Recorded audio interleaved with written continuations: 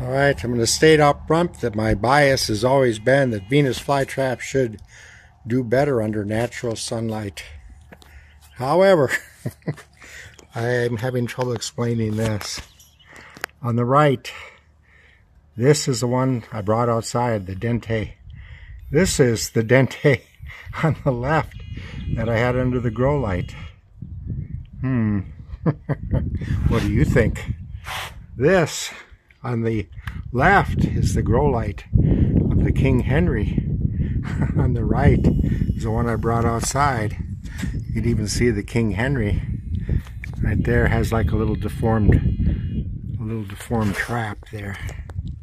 See there?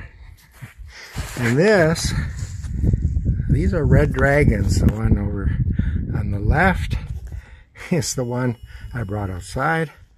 And on the right, the grow light. And then that was the main plant for the red dragons, but it's under the grow light too.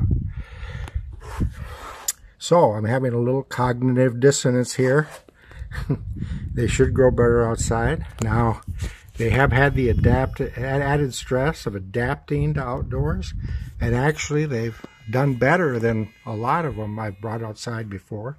So I think that bringing them out during the spring is the best method for transitioning them to outdoors.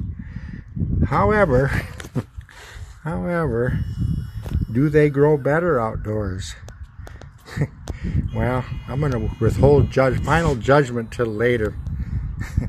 but it, it, it appears, in this case, they're growing better under the grow light.